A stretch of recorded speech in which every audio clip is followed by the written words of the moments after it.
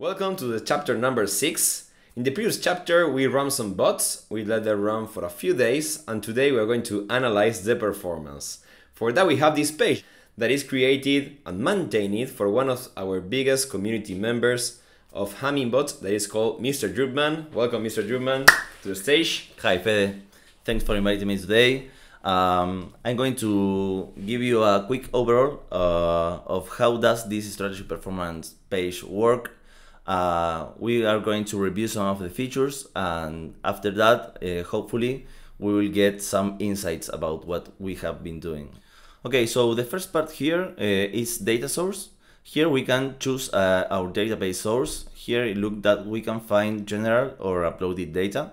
This uh, uploaded data, you can get it from this uh, expander located here where you can drag and drop files. Uh, this is mostly used when you work with, uh, I don't know, maybe other collaborators and they can share you the database they have been working on. And here we can find uh, the databases generated uh, by deploying directly from dashboard. So in this case, we have two, we have daemon and daemon 2, uh, and we can choose them, for example, here, and we can select a database to start our analysis. Okay, so we will start by the worst possible case, that is that when our database is corrupt, uh, we will get this error message called db status. Uh, if we expand this, we will see which tables are uh, in which state. For example, orders and order status are correct. Uh, trade fill uh, had this error. This is a common pandas error. Uh, this is probably because we have made a backup of the database while we were running the bot. So uh, if we want to get a very healthy database, uh, I suggest that you stop your bot first. Okay, so now let's jump to another example that we have here. This was deployed directly from dashboard and this is working. This is daemon v2. Here we can see a quick uh, overview of the strategy summary here we will have some uh, common attributes that are useful to get a very quick insight of what have we been doing. Uh, for example, like the strategy name or exchange, trading pair. Here we can see quickly the number of trades, uh, total volume, a very quick uh, PNL over time, and the realized PNL. Uh, in this case, we have only two trading pairs. Uh, so if we have more, we can see in this chart, we can compare our different PNLs so we can, can have really quick insights. Okay, but now I want to show you a success case uh, that is in this uploaded data. This is a daemon v3 uh, multiple pairs. Here, look what hap happened here. Uh, we have these three different pairs. Uh, we're going to analyze this uh, WLD USDT. We can uh, give a more deeply analysis by clicking here in the explore checkbox. If we want to choose more than one, we will have an error, okay? For now, we doesn't allow multiple selections, uh, but, but let's keep with one. Uh, here we will have this uh, explore trend per section. Here we will start with this datetime range uh, it's a very common practice to start and stop your bot uh, a lot of times if you're trading because you want to fix some params or stuff like that. So if you have the correct timestamp, uh, you can subset, for example, if I come here and let's move here, we'll have a subset uh, version of what happened and all of these metrics will be filtered according to this datetime filter. Okay, so now let's remove this datetime filter because we want to analyze the complete data. Okay, so we will start with this net PNL USDT. It make around 9 bucks. Uh, it traded 405 times. It has a very high accuracy. Look, this is a 96%. Uh, this is really amazing because it didn't make mistakes. Uh, it has a profit factor of 1.31. Uh, eight days. This strategy have been running for over eight days, and look at how sustained was this performance. Uh, within a price change of 5% and a total volume and a total sell volume of almost 4.5k. Here we can see the accumulated PNL. This is uh, calculated over all the trades that has been registered in our database and it doesn't depend on time. We are just looking the position of every trade.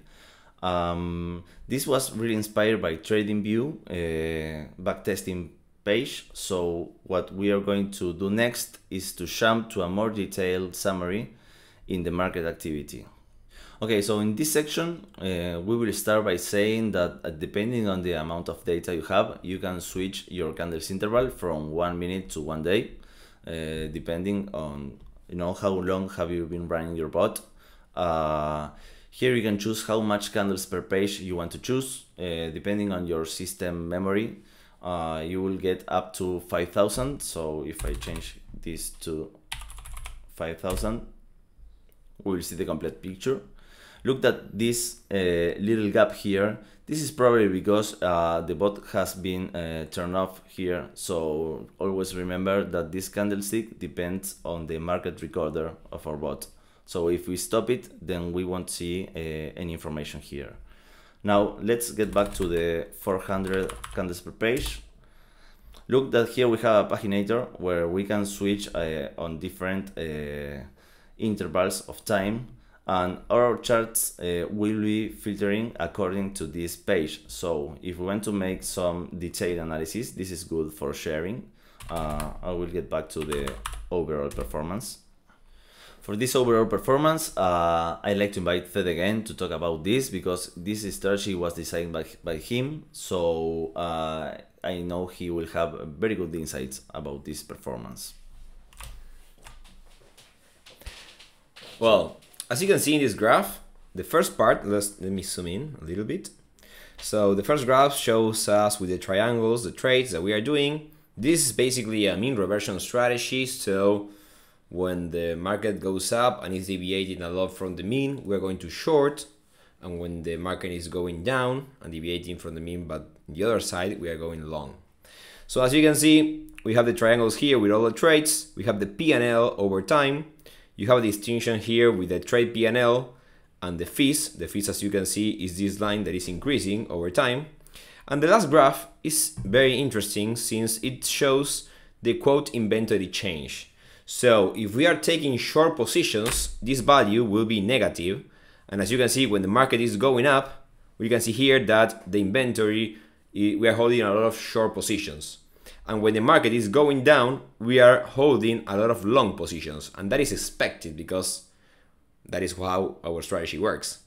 So over time, we will see that when we are in this case, in this uh, scenario, we're going to hold a lot of short positions. And when it reverts to the mean, we are consolidating that as a profit.